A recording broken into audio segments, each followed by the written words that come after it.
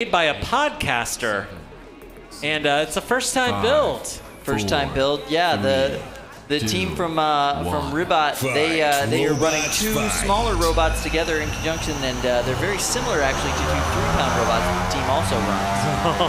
Oh no! Designs that they're very familiar with. Oh, Kyle! They've cut the titanium in half, That is, and I think uh, that that has helped out the drive on Dark Side. I do believe that is the case. Yes. And there goes the wheels.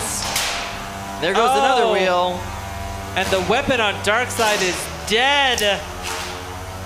It has not gotten up to speed for this match. No. Oh my goodness, we are going to see this robot split in half, I think. Interesting. I wonder what's going on with the weapon. Oh! And Polly is getting under the, uh, the the titanium wedge and eating away at these wheels.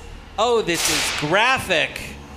Yeah, you heard Chris, the driver of Darkside, yell, "Finish him!" There, Yes. encouraging them to come after him. Losers bracket round four. Kyle, the Catrones just want to go home. It's been a very long night. Wow. Oof.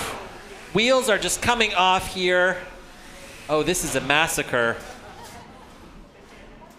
Where is that weapon, Chris?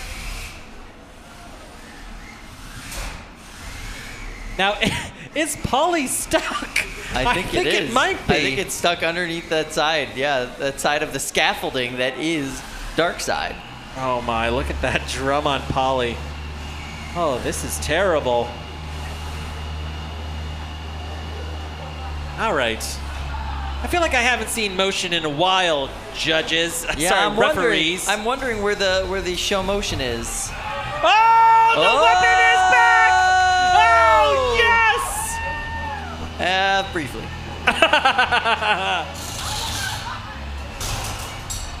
and it's done. Oh my. Polyester is uh, intent on breaking apart this robot.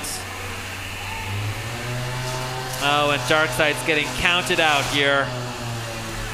Five, four, three, two, one. That there's a knockout. That is a Polyester knockout. moves on in this tournament.